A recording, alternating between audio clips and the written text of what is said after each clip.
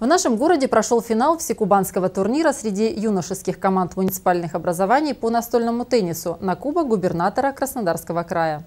Настольный теннис в Славянском районе очень популярен. Его развитию способствуют как то, что у нас есть квалифицированные тренеры, которые тренируют теннисистов, так и отличная спортивная база. Принимать престижные соревнования Славянску на Кубани не впервой. Это не первые соревнования, которые проводились уже с 1 сентября. Э, наша база является основной в Краснодарском крае для проведения массовых мероприятий среди юношей и девушек, детей, мальчиков и девочек в Краснодарском крае.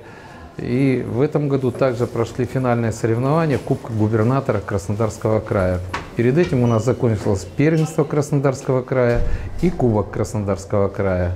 Прежде чем состязаться в финале, все его участники успешно прошли муниципальные и зональные этапы соревнований. Лучшие представители городов и районов Кубани и боролись за Кубок губернатора. По итогам финала были определены сильнейшие. В старшей возрастной группе 2004-2005 годов рождения победила краснодарская команда. На втором месте спортсмены Обширонского, на третьем – Коневского района.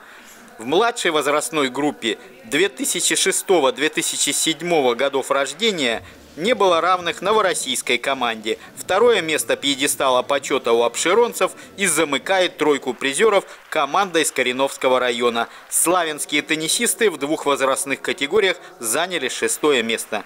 Андрей Вишневский, Игорь Ванчугов. Программа «События».